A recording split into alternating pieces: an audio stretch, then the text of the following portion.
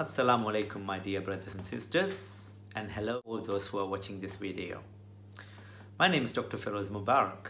The reason I'm making this video is because of these growing concerns about the infectivity of COVID-19 infected bodies and this fear is spreading throughout the international community. The most worrying thing is some experts giving statements increasing the fear and also spreading non-factual statements as though these bodies are highly infective and should ideally be considered for cremation. They don't say it explicitly, but that's what it implies.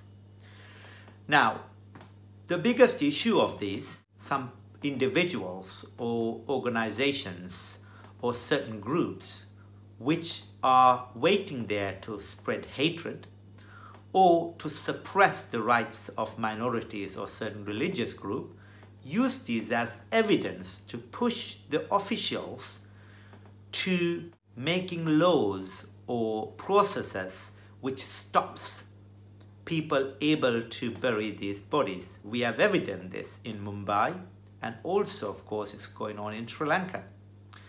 So for that reason, I've been asked to put some evidence forward with regards to questioning or challenges these ideas.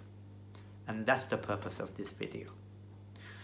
Because I've noticed even some people who are scholars or uh, some minority right fighters, after looking these videos, especially made by some Muslim consultants, have tried to slow down their speed or try to withdraw their efforts to fight for their right in trying to get these bodies for burial. And for me, it's very worrying because they are basing their opinion on the statements made by these, these experts. There is no scientific basis for this. These are hypotheses. This, they think and they assume and they make this a statement. That's the reason why I'm making this video because at the end of this video, I'm going to give you the links where you can check it yourself and find out the truth about this. Now, before starting that, I'd like to emphasize also another factor that the last days of a loved one is extremely precious for the family. The husband, the wife, the parent, the child, the grandchild, it's extremely precious. It's bad enough that they are very concerned about the virus itself and whether they will get infected or not, but that they can't mourn. They were not allowed to mourn. They were not allowed to have a burial has got a far-reaching consequence psychologically, especially for very close relatives. And this is why it's very important this fight is won on the right and fair basis, based on scientific facts. Right. Let's go to the basics. COVID-19, the disease, is caused by the virus called SARS-CoV-2. Now we all know this is an RNA virus. Now RNA viruses cannot replicate themselves. They cannot breed themselves. They need to have a live host cell. And what happens is these viruses invade the cells puts its RNA inside the cell and uses the cell's mechanism to produce more RNAs and these new RNAs become encapsulated and buds off these cells, become more and then infects more cells or other individuals. Now this is very different to a bacteria which can replicate itself. It can double up, then quadruple, then become 16, 32. In that way, most of the bacteria that's how they replicate. And for them, they don't have to be inside a cell. They can survive so long as they have nutrition. Now, this is a fundamental difference. The reason I'm saying to you, when somebody has died, they don't breathe, oxygen doesn't reach the, these cells, and the cells die. Once the cell dies, the virus cannot replicate. However, because of the dying process of these cells, whatever the virus inside the cell can come out through the body fluids. And yes, when these cells die and the person died, the blood system stops, of course, their own fighter cells, their immunity doesn't work anymore, that will shut down. So there was an argument, because of this immunity shuts down, the virus will replicate. But my question is, how would this virus replicate when the cell has died and there is no host cells? Yes, that's true. Until today, we don't know how long this existing virus will live in these bodies. But I can tell you that these cells are not going to multiply anymore after the cell dies. Maybe about an hour, maybe a few hours, maybe a day. After that, the, the whole system has shut down for this virus and it cannot replicate. Now, the next thing I want to uh, emphasize here is the mode of transmission of this virus. Now, we all know COVID-19, the disease is spread through respiratory droplets. So we cough or we sneeze, you got big droplets, it comes out of your body and falls. And then people touch that area and they get infected because they, they contaminate to their mouth or face or nose. And the other way, which we have found out recently, is that it could come out when you breathe through microparticles. So these are very tiny particles with thousands uh, of viruses and they stay in air for longer than the droplets and people can walk through that cloud of air, they get infected. These, these two mechanisms comprise 99% of the spread. Only 1% or less than 1% of this virus is spread through feces, urine or blood. However, we talked about when a person dies, when their cell dies, the liquid from the cells and part of the body can leak through the dead person's orifices. So that could be the back passage, the front passage, or the mouth. Or when you handle this body, then some respiratory droplets can come out, but there wouldn't be any way more contagious or far traveling than a live person who has got the virus. So in effect, the most important point I'm trying to make here is that even if the dead body has more viruses than the live body, the transmission of this virus will be significantly less from a dead body compared to a person who is infected of COVID-19.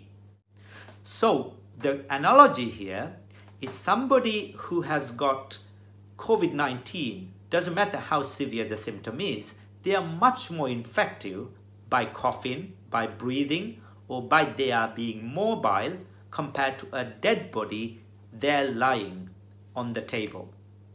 But as you know, these dead bodies are normally covered, so the infectivity significantly goes down. Now, let's look at what happens to a body when it dies with COVID-19. Now, there's clear guidance from World Health Organization, WHO, as to how these bodies should be handled and disposed of, which clearly gives two options, cremation or burial. But there are conditions to fulfill fulfill. Now, the other countries, namely the UK, so the PHE, Public Health England, and in Europe, the ECDC, and in the US and in Australia, their own Department of Health have laid down guidelines based on the WHO recommendation. And none of them say it is a must to cremate the body. However, certain countries exercise more precaution than other. We all know that. But talking about the scientific evidences, it is not a must to cremate these bodies. It's absolutely not a must. But let's just go and see what happens to these bodies. So I live in North London. If I talk about a North London hospital, the body will be taken into mortuary. In the mortuary, the body will be put into a body bag. Now these are single layer plastic body bags with a zip seal. Okay, these bags are used because of it. These are leak proof bags. That's the only reason. These are not specially coated or expensive bags. So these bodies are put in a body bag and stored in the fridge between 2 to 7 degrees amongst the other bodies which has not been identified as COVID-19. I need to make it very clear. These bodies are stored with the other bodies. So there's no special place they have left these. And then But when they handle these bodies, before the body goes into the body bag, people who handle the body will be wearing full personal protective equipment, PPEs, including the FFP3 masks, because of course the body can leak fluid and people can get that. But once the body has gone into the body bag and sealed, and they would write it down as infectious because they need to identify it, they would not have to wear the full PPE. The minimum requirement is gloves, a water resistant apron, and a surgical uh, uh, mask. This is for the handlers of this body after it is being put into the body bag.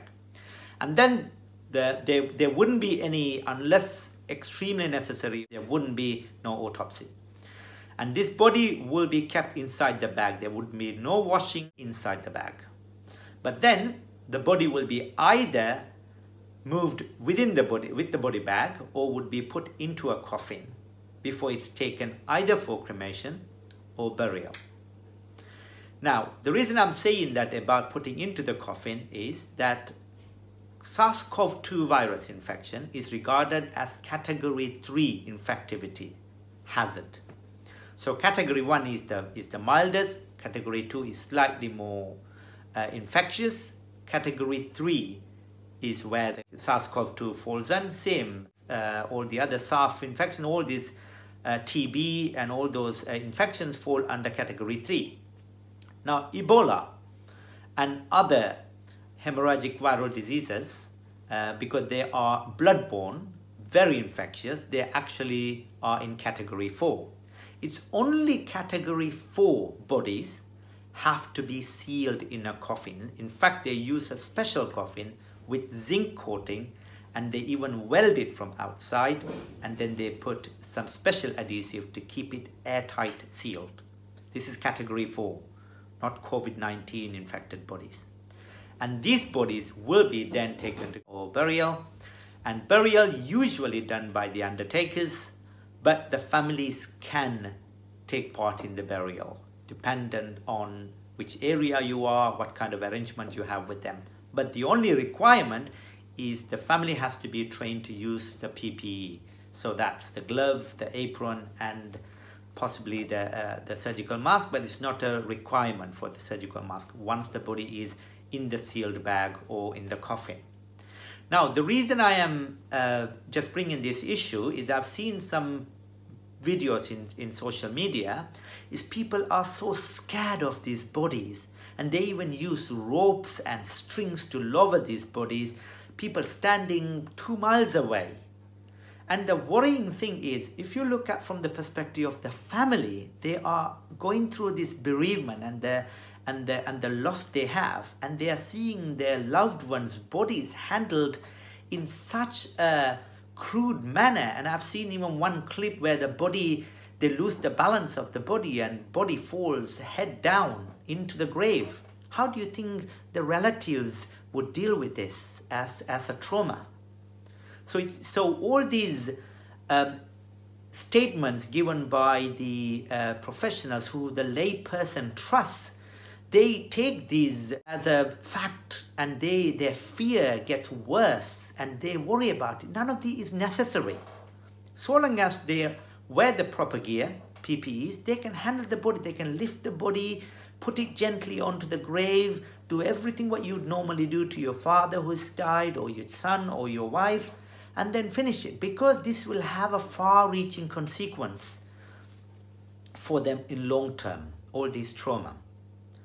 So I hope I've clarified these steps to establish that the bodies are safe so long as they are inside a body bag. There are some certain countries who take extra precautions. For example, Australia, they recommend double body bagging, but these are just box standard body bags, you double body bag for safety.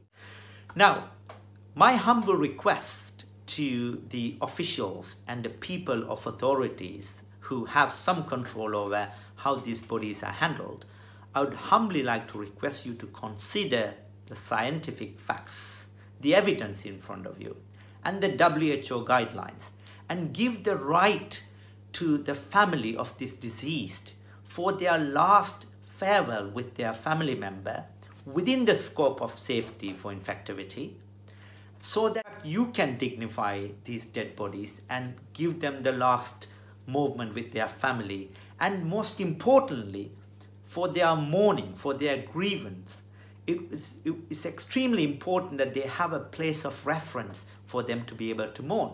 And from the religious perspective especially from islamic perspective it's extremely important that these, body, uh, these bodies are buried not cremated. Of course you don't when you're in a country i'm fully in agreement with that, the social harmony the understanding between the the different religions and sects and we need to obey the law in a country that's i'm 100% with it but once there is no scientific basis for certain processes the people the government have to give consideration to individuals and the right of the minorities and the religious group so that they can practice this freely. This is part of their human rights. Thank you for your time. Assalamu alaikum. Please be safe. Observe the social distance. Goodbye.